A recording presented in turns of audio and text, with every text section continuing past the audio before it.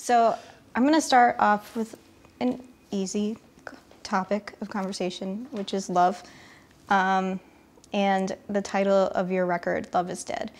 And I could see how some people in the press might be like, "It's a breakup record, and it has to do with romantic love." But listening to the record, it seems like you're kind of addressing a lot of different facets of love. And I'm interested to hear, you know, approaching this record, what you were tapping into in terms of love and, and those feelings. People always say our records are breakup records, don't they?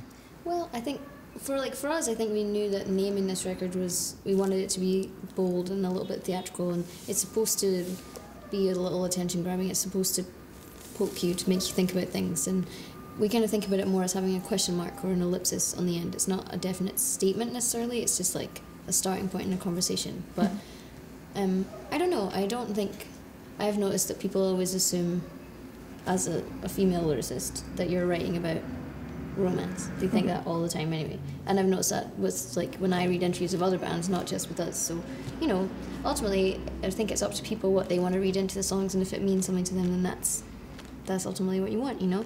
Um, that's not what it, it was written about from my point of view, but that doesn't mean that that's not what it'll mean to other people, you know. And I think that with the lyrics of bands that I love, it can't possibly have been having the exact same experience as the person that was writing that song, and you find something in it emotionally, and then you connect with it in a different way. And I think that's an important and powerful thing.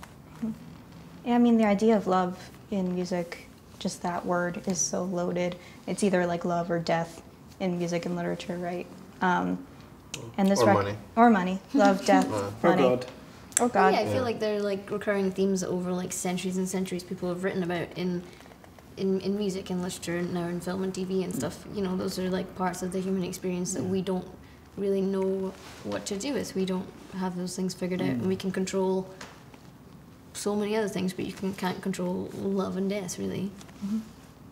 And I thought that was, I thought that was interesting because I feel like that's that phrase is something you see like on the internet a lot when like some famous person breaks up with some other famous person and Oh, do you? Oh, I.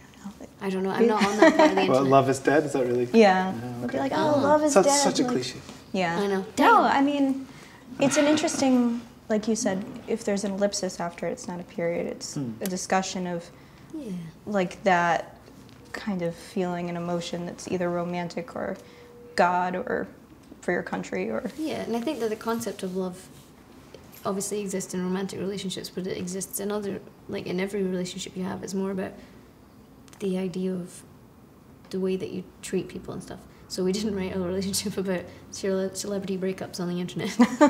it was like, I don't know. Um, I think it was more about the. I feel like a lot of the record is about the fr- like frustration and confusion, and like sadness of knowing that things aren't the way that you thought that they were, and maybe you grew up thinking you were a bit of an idealist or an optimist, and how do you try and be optimistic when you don't feel like that about things anymore? I guess. did I sense there was kind of like a political bent to some of the songs, like dancing Um, on the graves and you know. I think Graves is probably the most overtly political in terms of the lyrical content, but I don't think that we made an entire record that's like political manifestos. It's more, we always write from a kind of personal point of view, and I think it would be difficult to write about existing right now and not feel affected by those things. I kind of feel like when we're writing, it's always a snapshot of where you are at that particular time, and um, I think those things have seeped into some of the songs because because of the world that we're living in, and you know we're not like 20 years old anymore, able to ignore stuff and not think about things and just be footloose and fancy free. You know, I think that you have to be conscious and aware of these things and. I guess that it was natural that that would come into the writing in some way. Yeah, I feel like every record that's coming out has it's usually there it's not always touched by the political landscape or what's going on in the world, but it just seems like it's it's hard to make music or make anything today and not be affected by what's going on outside of your own sphere and hmm. relationships. I feel like that's how it should be, though, when it comes to art in any discipline, like you say, is that it should in some way reflect the time that it was made and the and the, the social environment, the political environment, and everything. You know, it's part of being alive, and art should reflect that. And it makes it seem more alive. It's not just a pop song that could come out any decade or any year. It's Mm. something that's like wrought from who you guys are right now and, and who you are in terms of music and musicians. Yeah, I don't think it was a conscious thing that we thought about in advance. It more just kind of came about naturally during the writing. And I would say that a lot of the record is still very personal. It's so people shouldn't be worried. You're not going to get like us thinking that we're U2 or whatever. But um, yeah, I think that does feel personal to us. Like someone that does feel personal to me right now. And I don't understand when people say, "Stay in your lane." Like, artists shouldn't talk about these things. I'm like, well, what do you think songs are written about? They're written about people's experiences, and they're written about how you feel about the world, how you feel about each other. Or they're written about politics and social politics and all those things. So mm-hmm. it doesn't. It makes sense to me that you should mention those things if they are what you're feeling at the time.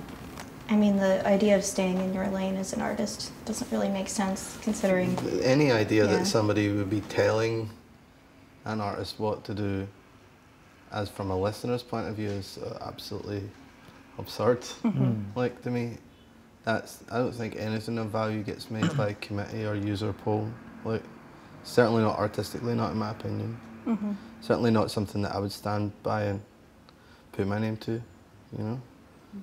Um, I'm sure there's loads of records that are, you know, even sequenced by focus group. Bet they're really successful too. It just doesn't make any sense to me. Mm-hmm. Yeah, it just doesn't. I, mean, I can't imagine it feels great to make something like that. But it depends what you're making. Maybe it does you're for making some it, people. What you're making it for. Just not for me. Yeah, Yeah. exactly. Well, I mean, that seems like the kind of music or art that's not going to actually make any kind of impact. It's like filler candy, Mm. you know, like something that's designed to have a specific effect as opposed to something that's going to set trends by itself. And I feel like you guys, you know, you might y- work in a style of music that, like the 80s kind of synthesizer um, style that's, that's popular, but it's not following something that's come before, really.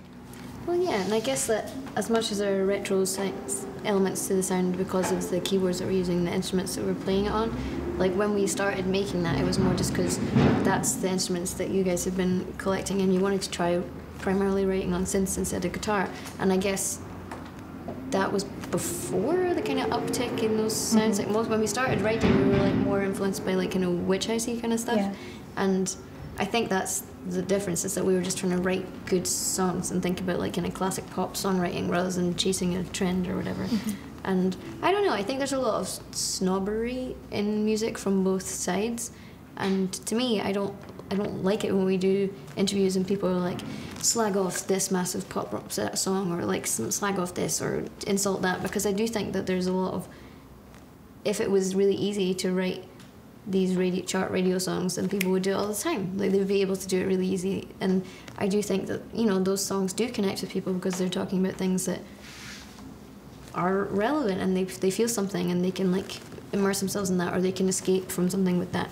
And I think it's snobby when people in alternative backgrounds, like alternative music backgrounds, act like that's not well that's not good because it was mm-hmm. like it was on the top 40 radio. But then equally I've definitely spent a lot of time writing, trying to make stuff more alternative and more obscure because you don't want it to be too mainstream. And I don't know, I kind of feel like I don't really believe in the idea of like guilty pleasures. I kind of feel like life's too fucking short, you know? Like, why don't you just like what you want to like? It connects with you for a reason.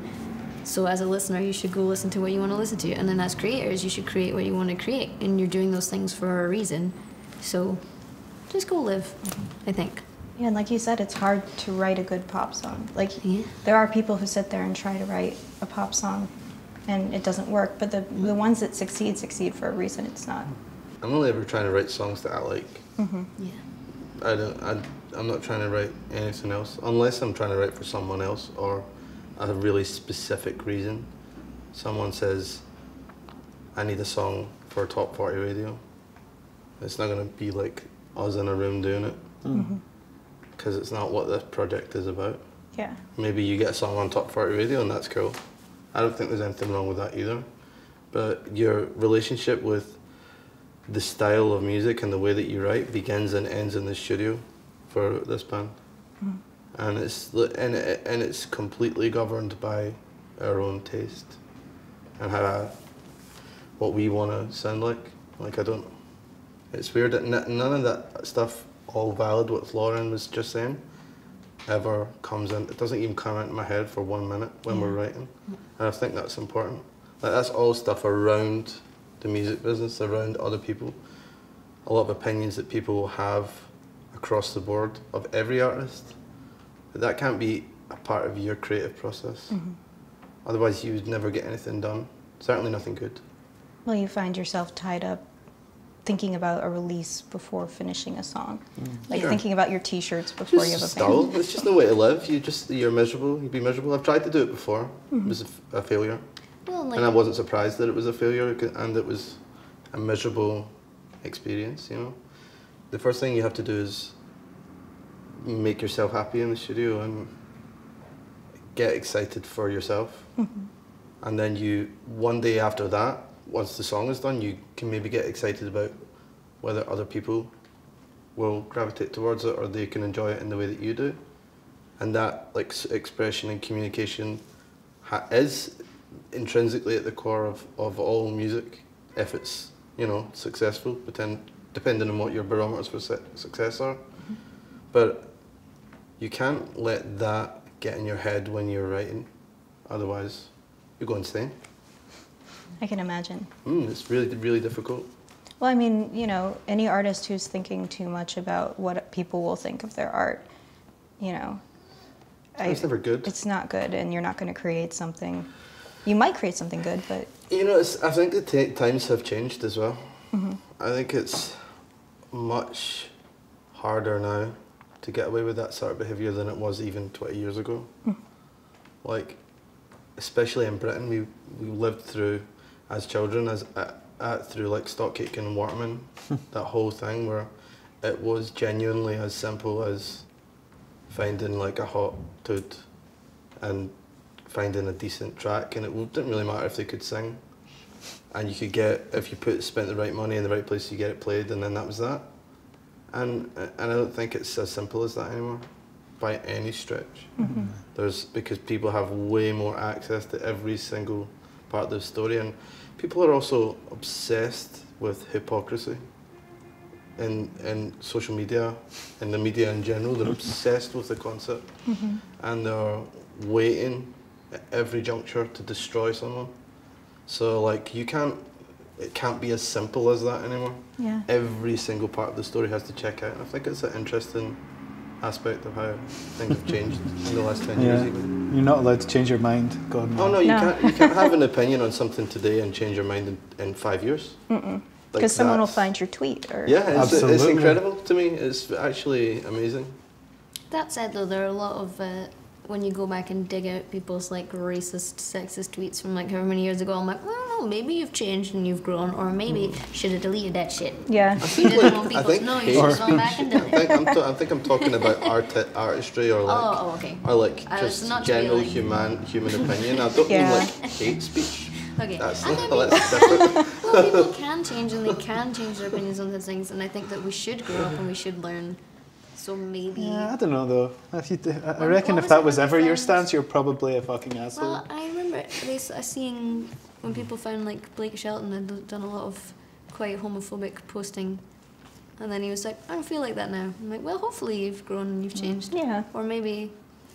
You just wish you deleted that shit. I don't know. And I was like, we're all first fine with this. This is okay. Okay. Yeah. Never mind. Hmm. Well, I guess maybe in terms of, of musicality and like keeping consistent on brand Opinion, all that stuff. seems yeah. very weirdly guess- important. Where like if you put that same On onus on David Bowie, it would, you know. Well, and I kind of feel like as a as a band, as writers and stuff, you don't want to make the same record again and again and again. Yeah. And then if you do, like if that's what feels right to you, then cool, do that. Like Mm-hmm. I feel like you just kind of have to listen to each other, and if it doesn't make you happy, then you can't expect it to make. You know, if you don't believe in it, how do you expect anyone Yeah. else outside of that to believe in it after the fact? So, I guess you just kind of have to just block out. Don't go on the internet. Block off the outside world and just make Do your your thing. decisions. Yeah, people who just want to pe- feel a part of something. Actually, is how I see it. Like, and it's a lot easier to criticize something, to feel community out of like destroying somebody. It's called dragging, I believe, at this point. Dragging. yes, and uh, Oh, the uh, it's a lot it's a lot easier to feel commu- community in somebody's destruction as than it is to like celebrate something because you have to put yourself out there even on that little level, and I think a lot of people are afraid to do that. Yeah, because somebody will tell you that whatever you like yeah, sucks. you, or, uh, you yeah. that your opinion sucks, so therefore you are not valuable yeah. as a human being, and that is not a nice thing to hear. No, I think Well- everyone should just like make it a practice to tell artists that they like that they like something because I don't think you hear that enough. You hear Mhm. people like like you said dragging and then people you know jumping in and um, defending somebody, but you don't Mm. hear somebody just tweeting like If you don't stand me, you're going to drag me. yeah That's the, there's nothing in between. yeah.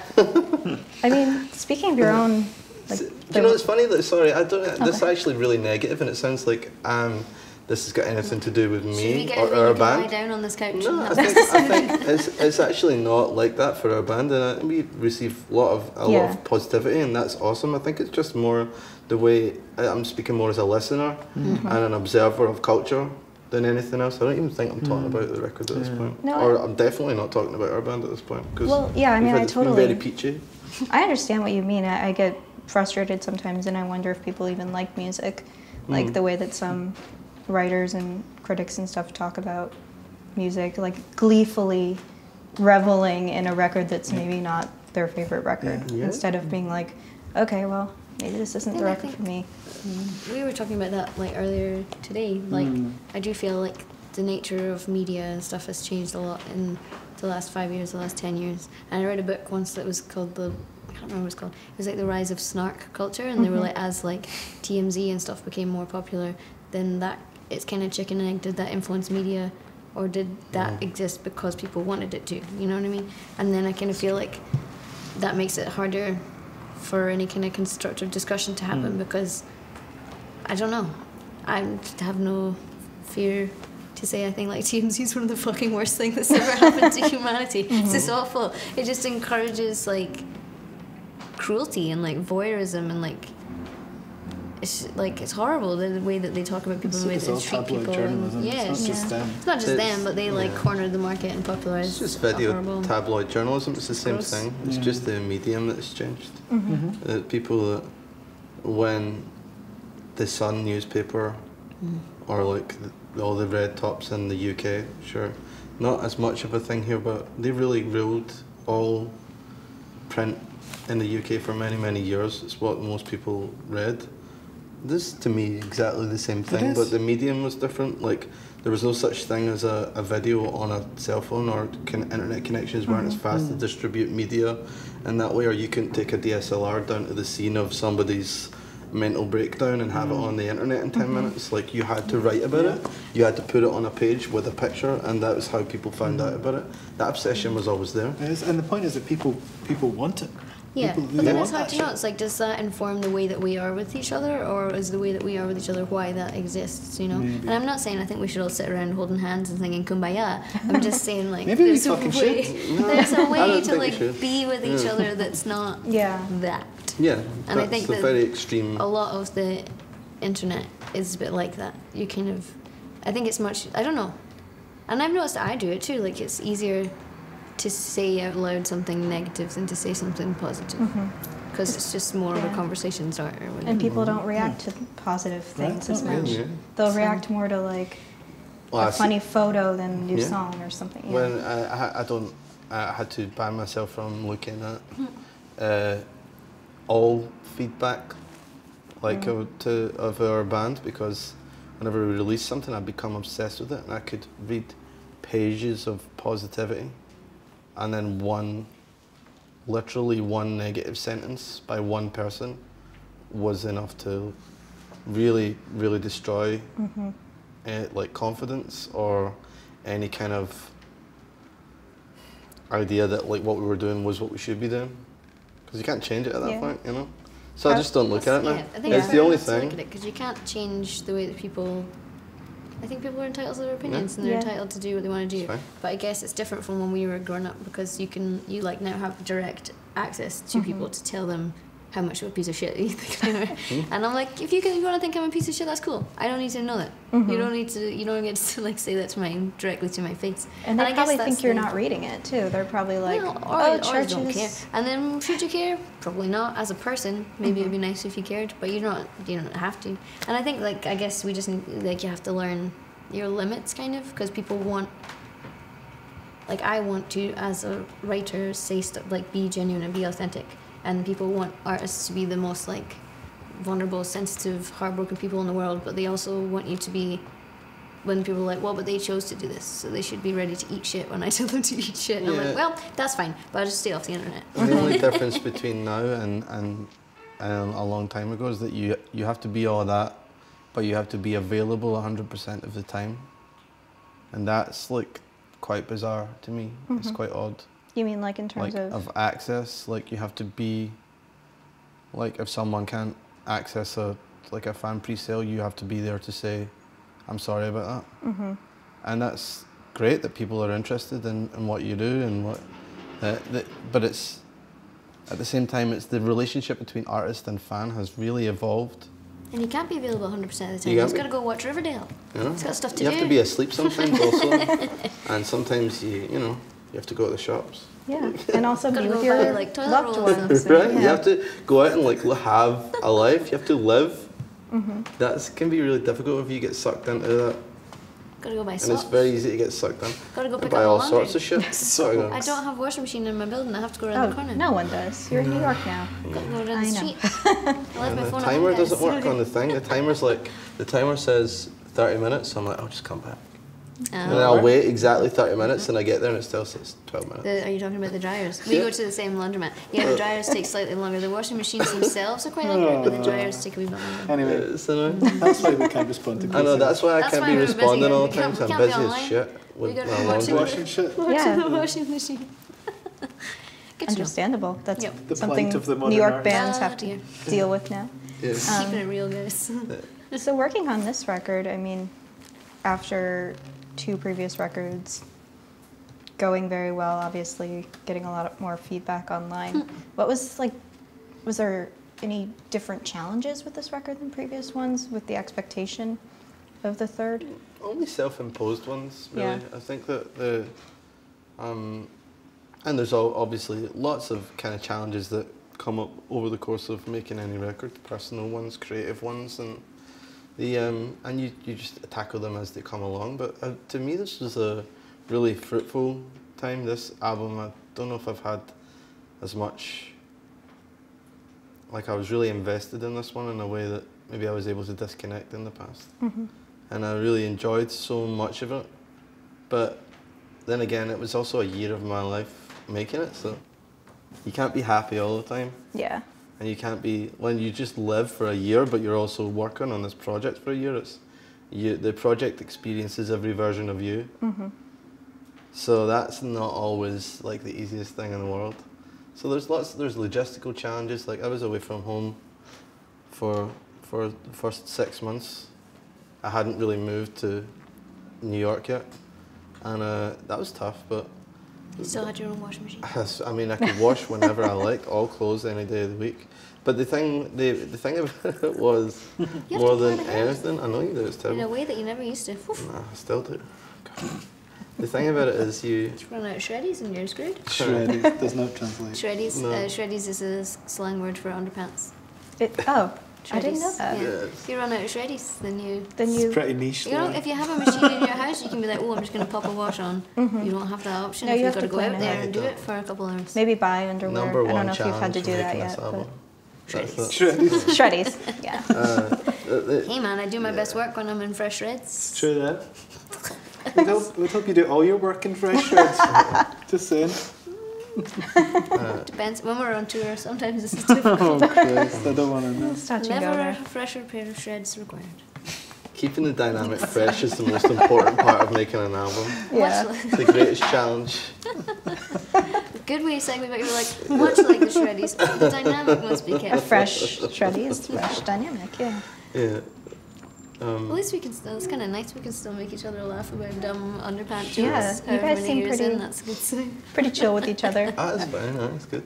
So you guys brought some other people in though this Mm. time around. Yeah. Um, We check the shreddies first. You calm down with that part. That's, uh, What's wrong with that one, I'm not sure that one's landing, but just in case, in case you're wondering. It's like I two think people Need that some have even heard that phrase I'm before. not Yeah. I did get like quite late last night. and we- Not Oh, yeah. from travel, not from like Oh, yeah. being on the ras or whatever. Yeah, we, we Wow. just we just had an idea that um, for this time we would experiment with working with some like because we did the first two records entirely on our own, like writing, producing, all that stuff, and uh, we thought we'd just give it a try. If it worked, great. We would you know go down that line. But if not, then also totally cool. It was just an experiment, yeah. and uh, one of the most fruitful ones. Like the initial sessions we had with uh, Greg Kurstin, uh, we were like, okay, we need to you know see what else is is is happening here because it was just such a dynamic um, collaboration. It almost felt like he was just one of one of us. You know, just an amazing keyboard player that suddenly joined our band. You know, this fantastic musical mind. Um, but yeah, we worked with a few different people, but um, a lot of them didn't make the cut. Um, but the the Greg stuff really really did. Yeah, it kind of. I mean, it sounded like you guys, but it sounded like slightly different. I, I'm Mm. I'm not sure how to characterize that, Mm. but um, I think there there was some press somewhere that said you were guys you were going for some kind of more like universal feel. Is that accurate? Or did the, I think it's internet interesting. just I think yeah, that stuff kind of gets gobbled up Yeah. and then like spat back out again, and Game it ends up some other version of what you were trying to.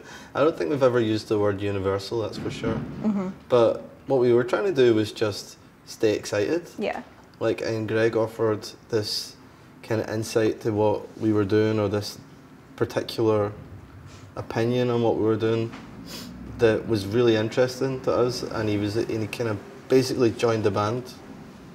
And whereas we had this really, we were really protective over the dynamic the three of us had. Once there was a fourth voice in the room, sometimes that went really well, and sometimes it went not so well. But with Greg, it was just electric. Mm-hmm. Everything was electric. Everything felt great. It felt fun. There was like everyone was dancing around the studio, and I mean, you know, per, from a personal point of view, that you, when you're that excited, maybe you're onto something. Yeah.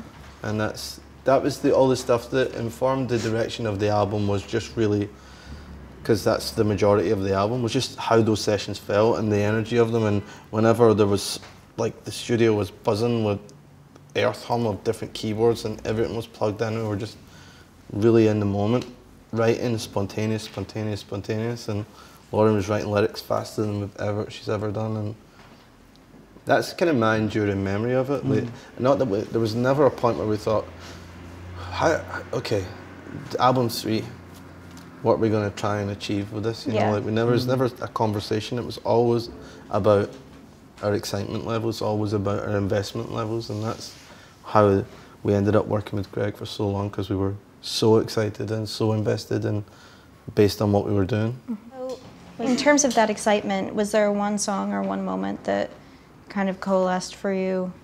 This that this was working and that this was, you know, a good direction to go in. That you got the most excited. Um, well, I guess the first the first day in the studio with Greg, we wrote what ended up being Get Out. So like that opening riff for Get Out was one of the first things that came out, and um, yeah, I feel like that definitely felt exciting to us. It felt like it fitted into our world, but it felt like it pushed things a little bit further. And um, I don't know. I think after that, everything felt quite natural, really. Um, I think it was about that whole. There was like we did four days, and I think we wrote "Get Out," "Never Say Die," and "Forever" in the first three days. At which point, I those are kind of like those are three of the songs I like the most. I think And that kind- really kind of made me got my energy levels to a point where I was obsessed with the idea of working with them. And I feel like each of those songs is quite different in terms of like what it's influenced by. Like Mm. Forever's probably the most like straight up could be played by like a garage garage rock band kind of vibe and Never Say Die is kind of post rocky weird at the end but it's got this kind of and really irrit- irritating pop hook in it. And I don't know, I feel like after those few days, we were like, okay, we can write a good cross section of stuff that we're excited about across the board with this guy, rather than feeling like you're having to make one kind of thing over and over. Hmm. So I thought, yeah, it was an exciting start. Well, thank you guys so much. Thank and you. Yeah, thank you Records us. coming out May 25th? It sure is, yeah. Awesome. Get it. get, get it. Get it now. Get out. Get out.